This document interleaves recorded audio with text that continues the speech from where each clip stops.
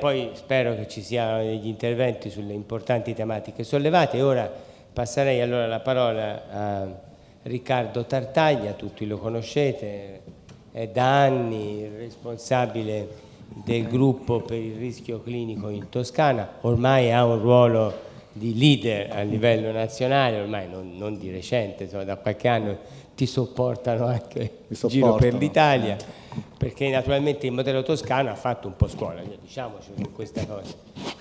Anche su questo naturalmente noi non siamo contenti, perché, prima perché siamo no. toscani e poi perché per contratto non siamo mai contenti di quello che facciamo. E allora oggi il suo compito sarà quello proprio di dire come, profittando della nuova organizzazione, eh, il, il, rischio clinico può eh, meglio supportare e indirizzare le linee strategiche eh, della eh, nuova organizzazione. Bene, grazie, grazie, per la presentazione Enrico, buon pomeriggio a tutti. Io mm, Provengo da un'altra sessione che ho seguito attentamente sul percorso nascita, sui rischi presenti nel percorso nascita. Devo dire che i dati che sono stati presentati dall'Istituto Superiore di Sanità, quindi da un soggetto terzo al sistema, sulla mortalità materna in regione toscana e anche sulle mortalità, sulle complicanze gravi del, del parto erano dati estremamente lusinghieri, insomma. Però eh, non ci accontentiamo, non ci accontentiamo anche perché dobbiamo passare sicuramente da una fase 1 della sicurezza del paziente alla fase 2. Qual è la fase 1 della sicurezza del paziente? È la fase in cui avveniva un incidente e si andavano ad analizzarne le cause e si introducevano delle misure di contenimento, di miglioramento. Come ci ha detto Lachman in apertura del forum, bisogna passare alla fase seconda, quella in cui si analizza proattivamente il rischio, vale a dire si analizzano i percorsi di cura, i percorsi di cura, si cercano di individuare le criticità presenti nel percorso di cura e quindi si introducono subito delle azioni per migliorare la sicurezza delle cure. Queste sono uh, le mh, proposte che sono emerse dalla Convention nazionale dei Clinical Risk Manager che abbiamo tenuto a Bari il 2 luglio. Ci hanno invitato i Clinical Risk Manager italiani che hanno lavorato in numerosi tavoli di lavoro proprio per individuare quelle che sono le, le, le migliori soluzioni per la, la, la, sicurezza delle cure, la comunicazione professionale, l'educazione, il training mediante simulazione, sviluppare il lavoro di team, protocolli condivisi condivisi nel senso che evidentemente si opera tutti quanti con gli stessi strumenti, con le stesse eh, procedure che ovviamente devono avere delle forti basi di evidenza eh, scientifica. I pazienti non sono più degli spettatori ma devono essere coinvolti in tutte le nostre eh, azioni perché da loro possiamo avere veramente un valido supporto. L'information and communication technology, l'importanza dei reporting e learning system oggi è, è, è, rilevante proprio perché ci consente di raccogliere dati importanti rispetto alla, a come migliorare la sicurezza, ovviamente diffondere la cultura mediante sin dall'inizio, sin dalla formazione dei nostri eh, studenti e quindi poi adattare, non far mai calare nulla dall'alto, ma adattarlo sempre diciamo, alle differenti realtà, perché ogni ospedale ha la sua storia, i suoi professionisti hanno la loro storia, noi non possiamo in qualche modo vincolarli sempre a seguire delle procedure se non sono in qualche modo adattate alle differenze contestualizzate di diverse realtà. Questo è il nostro modello teorico che rimarrà anche dopo la riforma. Noi siamo convinti che ci debbano essere due linee nelle nostre aziende, una linea dei clinici che dovranno portare avanti sistemi di reporting e learning e potranno essere anche dei clinici che continueranno a fare a tempo pieno il loro lavoro dei clinici dedicando del tempo a che cosa? A quello che è il terzo pilastro della medicina, diagnosi, terapia e revisione della casistica. Quindi mortality e morbidity review e anche gli audit clinici non sono che il terzo pilastro del processo decisionale in medicina, proprio perché mi consente di rivedere quello che ho fatto. Dall'altra parte le direzioni sanitarie, la linea manageriale e quindi l'importanza di misurare attraverso l'indicatore a disposizione, di analizzare quelle che sono le differenti situazioni, poi anche una funzione, diciamolo in modo chiaro, anche di controllo, nelle, andare a vedere se si opera correttamente rispetto all'applicazione delle linee guida, all'applicazione delle pratiche per la sicurezza e così via. Questo è il nostro sistema informatizzato, integrato di gestione del rischio clinico che abbiamo introdotto da, da, luglio, lo stiamo sperimentando ancora, ci auguriamo entro l'anno di finire la sperimentazione e quindi dal 2016 poter partire diciamo, con questo sistema che tra l'altro tiene dentro anche la tassonomia degli eventi avversi dell'Organizzazione Mondiale della Sanità, il che ci metterà a confronto ovviamente a livello internazionale rispetto agli eventi avversi. La nostra organizzazione è quella di vedere da una parte delle strutture che hanno essenzialmente una loro collocazione in direzione sanitaria di patient safety management, che potranno includere ovviamente anche gli aspetti legati alla qualità dell'assistenza, e dall'altra parte avere dei clinical risk manager clinici con del tempo dedicato alla, allo sviluppo del reporting e del learning system. E questo è bene che siano dei clinici che non si distaccano dalla prima linea, perché sono loro i conoscitori, voglio dire, delle problematiche presenti in reparto. Abbiamo quindi attivato già dal 2014 questo coordinamento di area vasta e questo devo dire ha dato già dei buoni risultati perché eh, le iniziative si sono moltiplicate in tutte le tre aree vaste, iniziative di formazione, di informazione, di collaborazione. Noi bisogna sempre più, come si può dire, dal centro, dalla regione, andare sempre più verso la prima linea, verso gli operatori, supportarli nella loro attività, nelle loro eh, iniziative. E, mh, vado avanti veloce, quindi noi riteniamo che nella nuova riforma, nella direzione strategica, ci debba essere sicuramente un referente per il direttore generale un clinical risk manager che faccia da riferimento anche per tutta l'area vasta, quindi un clinico che abbia una sua autorevolezza, che abbia competenze in gestione del rischio clinico. Questa attività va affidata a chi ha fatto il corso specifico che noi abbiamo previsto con la, con la scuola Sant'Anna di, di, di, Pisa, non può essere affidato a chi non ha sviluppato specifiche competenze. Dall'altra parte abbiamo i patient safety manager, il background formativo è il medesimo, però qui si tratta di operatori che lavorano in, nelle direzioni sanitarie, nelle strutture qualità e sicurezza delle cure e che hanno la funzione di promuovere le pratiche per la sicurezza. Questo vedete un po' un'immagine grafica, una mappa di quella che è l'attuale situazione, quindi diciamo per ogni eh, azienda territoriale, per ogni azienda ospedaliera universitaria avere un clinical risk manager,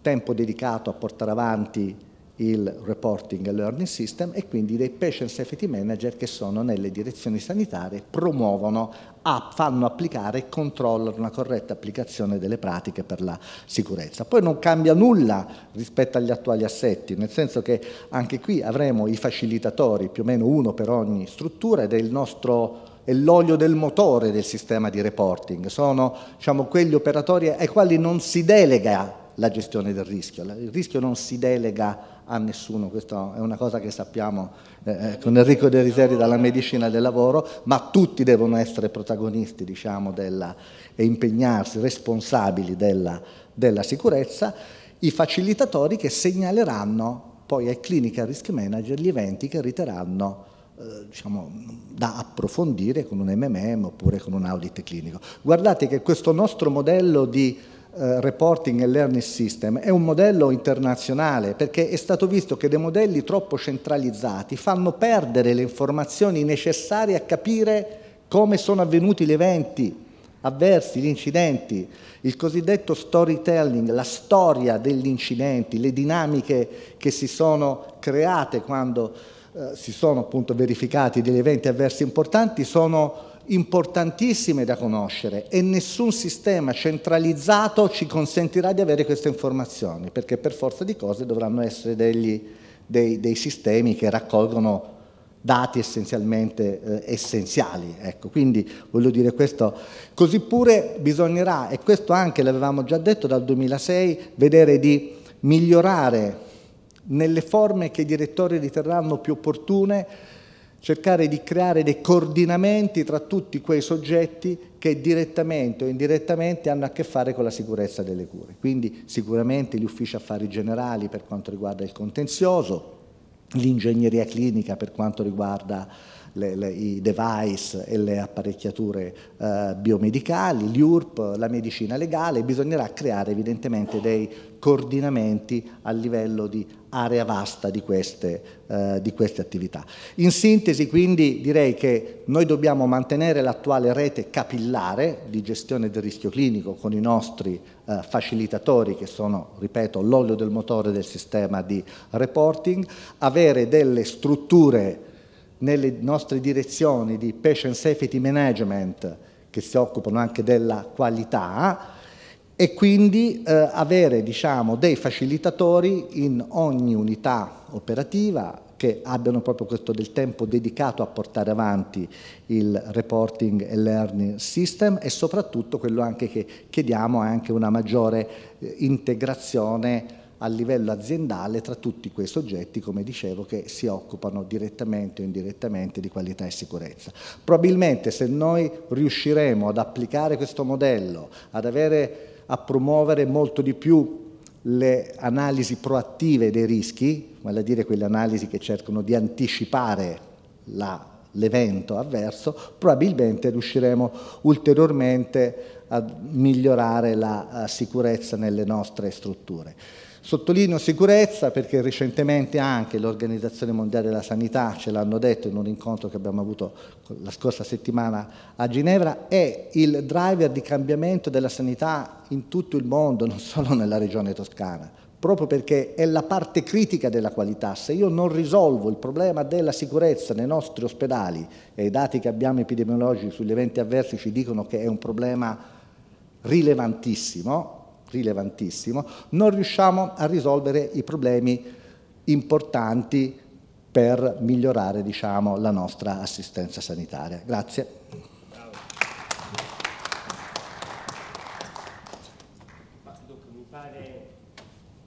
pare ci siano molti elementi, insomma mi rendo conto, forse il pomeriggio in genere qualche propensione al... però insomma ecco, se ci sono osservazioni, domande, prima di chiudere io le riterrei opportune, insomma, ecco, dagli interventi della, della nostra Daphne Rossi che eh, sottolineava il problema dei tempi di attesa, della burocrazia, che, insomma, noi ci siamo nelle aziende, la riteniamo soffocante, gli anziani che hanno sulle spalle i, le famiglie e che ancora il sistema non si fa carico, insomma e poi Resti che con passione ci ha presentato eh, i buoni risultati, anche l'importanza dell'innovazione, ma anche eh, i temi collegati appunto, temi specifici di assistenza, eh, gli infermieri per esempio che sono, hanno minore attitudine, no? oppure il tema delle vaccinazioni, ricordate, temi importanti. Orlandi che ha sollevato eh, insomma, ha messo in evidenza certo i, i, successi degli ultimi dieci anni perché appunto, diciamo no, 15 anni perché se ne comincia a lavorare. Io appunto eh, ero a Careggi e scrivevo le linee guida regionali eh, con il buon Enzitari e quindi quelli sono i tempi da cui si parte. Oggi la Toscana ha fatto molto, però i numeri ci dicono che ancora, questo è un po' il leitmotiv di, di, di questo forum, non è che non abbiamo fatto, abbiamo fatto, non ci scoraggiamo, ma rimane ancora tanto da fare, i dati sono belli perché mettono in evidenza aree di sofferenza maggiore. Anche questo suggerimento del telestroke, dell'approccio eh, eh, drip and shift, eh, che potrebbe essere il primo step prima del keep, eh, insomma mi pare molto stimolante. E infine, eh, l'ultimo intervento, che mette insieme, mh, mm, approfitta, approfittando, come dire, sei un profittatore, approfittando del fatto che si fa questa fusione, che quindi abbiamo dell'economia anche di scala, di fare un asset organizzativo che vede nella direzione strategica o nel suo staff, insomma poi discutiamone, le, le risorse adeguate, risorse qualitative prima ancora che quantitative, per garantire il patient safety, e che cos'è ha spiegato molto bene e, e, e l'apparentamento con la qualità e la sicurezza, il clinical risk management, il ruolo dei facilitatori, questa rete eh, e poi la ricchezza che può derivare dal reporting, che è un learning system fantastico. E, e ora noi abbiamo queste idee su molti fronti, cioè sfruttare la conoscenza per guidare meglio il cambiamento. No? Noi in, nel, in, questa sala ieri abbiamo parlato di un altro cruscotto, quello delle criticità, ehm, chissà chi di voi c'era, insomma lo ricorderà, le criticità gestionali, no? che sono i reclami, che poi alla fine sono parenti stretti anche della, della, del, tuo, del tuo pensiero. Ecco io so, ditemi se ci sono interventi, ecco ce n'è uno. Allora, se c'è, altrimenti c'è.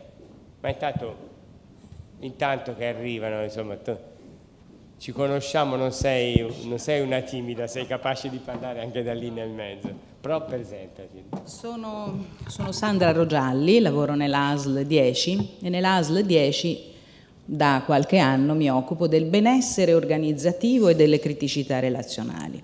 Allora, qualità e sicurezza. Il tema della qualità e sicurezza ha a che fare sicuramente con i percorsi, sicuramente con eh, le linee guida, ma anche a che fare col benessere degli operatori. Cioè, nella nostra azienda sto lavorando molto con il nostro collega, molto ultimamente, abbiamo cominciato a lavorare con eh, il responsabile del rischio clinico perché la situazione di difficoltà degli operatori è un elemento cruciale dell'aumento del rischio in sanità. Noi abbiamo questa come la risorsa più grossa del nostro sistema, è inutile stare a scordersi dietro a un dito, è vero, la tecnologia, gli ospedali, eh, ma se non manuteniamo, passatemi il termine negativo, la risorsa umana siamo perdenti, perché noi lavoriamo attraverso noi, attraverso gli operatori. Allora ora ci sono due fenomeni, noi faremo un focus su questi due rilevanti che stanno accadendo si collegano a tante delle cose emerse in questi, in questi giorni. Uno, l'invecchiamento nostro. Noi andiamo in pensione dieci anni dopo di quando si andava in pensione prima. Noi andiamo in pensione a 67 anni se ci va bene, se non ce lo portano a 70, prima si andava all'incirca ai 57. Quindi significa che l'organizzazione del lavoro dovrebbe pensare di adeguarsi alla sua popolazione lavorativa che invecchia. Ci sono aziende private che lo fanno. Eh, abbiamo invitato un'azienda, l'azienda della nettezza urbana di Genova, che ha adattato i propri mezzi ai lavoratori che invecchiano, perché si possono piegare di meno, perché eccetera, eccetera, eccetera. Eh, l'altro elemento sull'invecchiamento però è anche, come dire, un'attenzione a non demotivare chi è vecchio ma comunque sa ancora e può ancora dare. Tanto che un titolo delizioso che vi do perché è col punto interrogativo di uno dei, dei docenti che verranno da noi è eh, dipendente vecchio, fa buon brodo? Allora, ci sono delle caratteristiche dei, dei noi, di noi vecchi che possono essere ancora sfruttate dall'azienda, come ci sono delle caratteristiche che chiaramente vedono e devono vedere l'immissione di nuove persone a cui passare competenze. L'altro elemento che vi do, che stiamo seguendo come benessere organizzativo, è il tema dell'aumento pesantissimo delle aggressioni degli utenti ai nostri operatori. C'è sicuramente il tema delle proteste all'URP, su cui tante, tante, ragioni hanno gli utenti, che poi il nostro, nostra, dire, il nostro core business è rispondere a chi, a chi ci dà il mandato, che sono gli utenti, non vi è dubbio. Ma in questo ci sono anche tutta una serie di come dire, aggressioni che sono notevolmente aumentate perché il nostro sistema non è più quello di una volta, non dà più le possibilità e le risposte di una volta e la, dire, i, i, le, le persone che ritengono di avere dei diritti si rivolgono ai nostri operatori, soprattutto quelli di front office o al pronto soccorso, in maniera eh, come dire, sgarbata, sono in aumento le aggressioni verbali che difficilmente monitoriamo perché sono eh, nascoste, sono, non, non, vengono, cioè, mentre se c'è l'aggressione fisica si traduce in infortunio sul lavoro, l'aggressione verbale no, difficilmente. Ora l'incident reporting a volte le, le, le, le rilevano, ma quando lo chiediamo. Quindi in questo c'è, secondo come dire, pongo questo tema dell'attenzione alla risorsa umana perché è fondamentale soprattutto in un momento come questo con le organizzazioni che cambiano.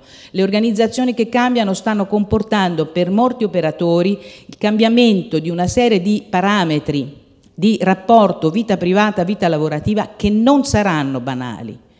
Non saranno banali e su questo allora c'è da lavorare a come fare a mantenere la come dire, alto il morale, la voglia di continuare a dare, perché noi abbiamo ancora nel nostro sistema persone che si sono formate all'etica e alla morale del servizio sanitario pubblico, che su questo si sono impegnate e sono quindi più a rischio di essere demotivate da una situazione che non le tenga in considerazione. Grazie Sandra. Beh, sì, merita anche secondo me un applauso, un bel intervento. Ricordo fra l'altro Sandra, l'abbiamo detto stamattina per la verità, che oggi è la giornata mondiale OMS certo, per la, esatto, violenza alle donne e insomma nei front office spesso ci sono proprio le donne che appunto, quindi insomma anche di questo dobbiamo dare atto. Insomma. Employers first, diceva Carlo Tomassini citando un famoso manager indiano, no? E quindi i professionisti che se sono demotivati, no Sandra, finiscono con quell'altra questione del satisfaction mirror, cioè finiscono con abbassare la qualità della prestazione percepita, eh? dico quella percepita da parte degli utenti. Ecco perché appunto un, un, un, un organico medico, infermieristico, tecnico, appassionato eh, ottiene i migliori risultati e ingenera minor contenzioso, minori reclami, alla fine tutto sommato un minor rischio clinico. Ottimo intervento e credo da sottolineare. Ci sono altri elementi? Allora, considerando il fatto che avevo promesso a Resti che doveva tornare via, aveva un altro impegno, avrà già sicuramente fatto tardi, che l'avrei lasciato entro le 4, insomma, con parziale remissione delle colpe. Dichiaro e vi ringrazio, chiusa la giornata e vi ringrazio per i contributi e l'attenzione, grazie. La resistenza.